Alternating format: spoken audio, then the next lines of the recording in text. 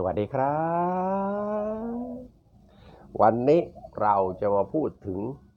คำเรียกอะไรนะคำแนะนำใช่ไหมคำแนะนำเขาบอกว่าถ้าเราเปลี่ยนคือดาวน์โหลดรูปแบบฟอนต์ใหม่มาในเครื่อง vivo y 1 7จะสามารถปรับขนาดอักษรในทุกทุก sector ของเครื่องได้หมดเลยจากคราวที่แล้วที่เราทำก็คือ เมื่อเราปรับขนาดอักษรให้มีความใหญ่โตมโหระทึกที่สุด ผลปรากฏขนาดอักษรมันใหญ่แค่เวลาที่เราเข้าไปใน SMS หรือในโทรศัพท์ เท่านั้นในส่วนอื่นๆ มันไม่ได้ใหญ่โตไปเลย แม้แต่ในตั้งค่าเอง เราก็มีความรู้สึกว่าตัวมันก็เล็กนิดเดียวเอง ไม่เห็นมันใหญ่ตรงไหนเลย เรามีความรู้สึกว่า คือเวลาเราเข้าไปในในอีเมล ใน Facebook ในไลน์เราก็จะรู้สึกว่าขนาดอักษรมันไม่ได้ใหญ่เหมือนเหมือนใน SMS เออ นั่นแหละประเด็น แต่เขาบอกว่าถ้าคุณเปลี่ยนฟอนต์ของอักษรในเครื่อง vivo y 1 7แล้ว มันก็จะสามารถใหญ่ไปในทุกๆเครื่องได้เลย จริงเหรอจริงเหรอ เปลี่ยนฟอนต์แล้วตัวอักษรใหญ่ได้ จริง ๆ เหรอ นี่ เออ อันนี้เป็นคำคำถามที่ตัวโตๆเลย อันนี้มานั่งทำอยู่สักพักเรามาทำให้ดูก็ได้ เดี๋ยวจะบอกว่าไม่ทำให้ดู มาเราไปดูที่การตั้งค่านี่อะแล้วเราก็เลื่อนลงไปข้างล่างเสียหน่อยหนึ่งนี่อะ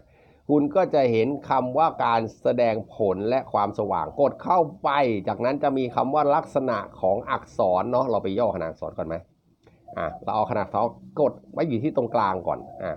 กดขนาดอักษรไว้ตรงกลางเพื่อให้มันดูเล็กผมว่าเล็กไปนิดเดียวเอง คุณจะสังเกตว่าขนาดอักษรเล็กลงไปนิดเดียวเองนะอ่า ดังนั้นเราไปที่ลักษณะอักษรอ่าอันนี้จะเห็นว่าผมเนี่ยโหลดมาบานเลย ผมก็อุตส่าห์ถามแล้วนะแล้วว่ารูปแบบอักษรฟอนต์ที่คุณโหลดมานี่มันชื่ออะไรเหรอเนี่ย ชื่อมันเนี่ยนะถ้าบอกชื่อมาเนี่ยผมโหลดมาตรงๆกับคุณเนี่ย ผมก็จะรู้ว่ามันจริงอย่างที่คุณพูดหรือเปล่า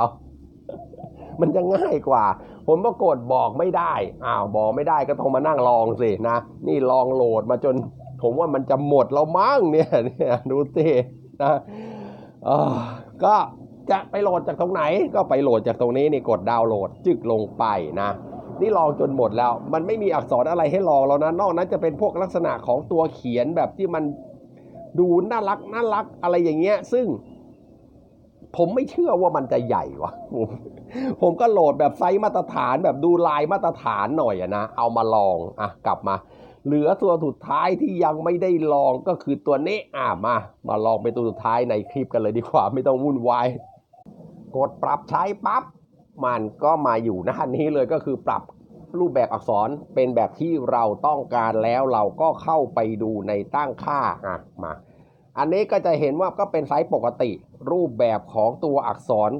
มันก็จะเปลี่ยนแค่ตัวอักษรภาษาอังกฤษเท่านั้น ภาษาไทยมันไม่เปลี่ยน เพราะมันเป็นฟอนต์อินเตอร์ มันไม่ใช่ฟอนต์ภาษาไทย โอเคไหมเออ มันเปลี่ยนได้แค่ภาษาอังกฤษ อะ เราก็มาดูว่ามันจะเกิดอะไรขึ้น ถ้าสมมุติว่าเราเข้าไปปรับขนาดอักษรเมื่อเราเปลี่ยนรูปแบบลายฟอนต์แล้วนะ อ่าอันนี้เราเปลี่ยนแล้วนะ เราก็ไปปรับขนาดอักษรใหม่ อะแล้วเราก็เพิ่มไปแบบสูงสุดเลย เอาเต็มพิกัดเลยนะ นี่เอาเต็มพิกัดเลย อ่าแล้วกดย้อนกลับอ่าก็จะเห็นว่าขนาดอักษรมันก็ไม่ได้ต่างจากเดิมสักเท่าไหร่เลยนะอะกดโฮมนะแล้วก็ดาวน์โหลดเห็นไหมมันก็จะขึ้นอะแล้วเมื่อมันปรับแล้วเราก็ไปดูใน SMS อะเราดูอันนี้เป็นไซส์มาตรฐานเลยนะแบบ มันจะใหญ่เป็นหม้อข้าวหม้อแกงเลยเพราะมันไม่รู้จะพูดยังไง มันใหญ่ไหมเนี่ยใหญ่ใหญ่ใหญ่มากๆเลย เรามีความรู้สึกว่า ถ้าเราปรับขนาดอักษรเป็นแบบใหญ่แบบนี้เนี่ย มันจะต้องใหญ่แบบนี้ในทุกทุก sector ของของเครื่อง แต่แม้แต่ในตั้งค่าเองมันก็ไม่ใหญ่คุณสังเกตไหมอ่านี่มันไม่ได้ปรับเลยนะ อ่าไปดูใน Gmail ใน Gmail ไซส์ของตัวอักษรก็เท่าเดิม ผมก็ไม่เห็นมันใหญ่ขึ้นเลย ใน Facebook อ้าเดี๋ยวจะบอกก็ไม่ยินดูอ่าไม่ใช่ใครเนี่ยขออภัยเออคุณจะเห็นว่า ขนาดอักษรตรงเนี้ยมันก็ไม่ได้ใหญ่ขึ้น มันก็เท่าเดิมอะ มันก็ตัวเล็กกันนะ แล้วไปดูในไลน์บ้าง อะ ไปดูในไลน์อะ ไปดูในไลน์แม้จะเปลี่ยนฟอนต์นะ ขนาดรูปในรูปแบบตัวอักษรมันเปลี่ยน แต่ว่าขนาดของตัวอักษรมันก็อยู่ไซส์มาตรฐานเท่าเดิม เพราะฉะนั้นคำที่คุณบอกมาว่าเปลี่ยนฟอนต์แล้วจะทำให้ตัวอักษรนั้นมันใหญ่ในทุก sector ได้ มันเป็นไปไม่ได้พี่ ผมทำแล้ว หรือถ้าคุณคิดว่ามันมีฟอนต์ไหนทำให้ตัวใหญ่ได้ก็บอกละเดี๋ยวผมจะไปโหลดบอกชื่อมาสินะเออเอาชื่อมาเราจะไปโหลดมาลอง แต่นี่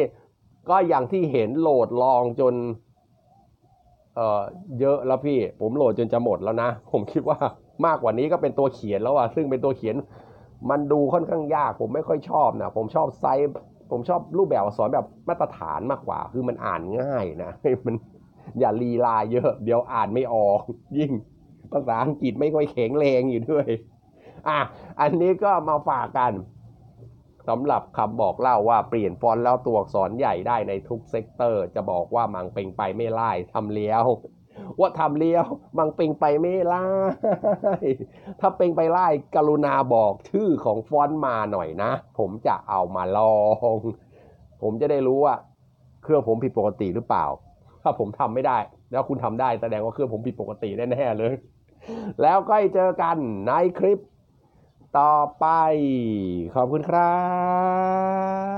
บ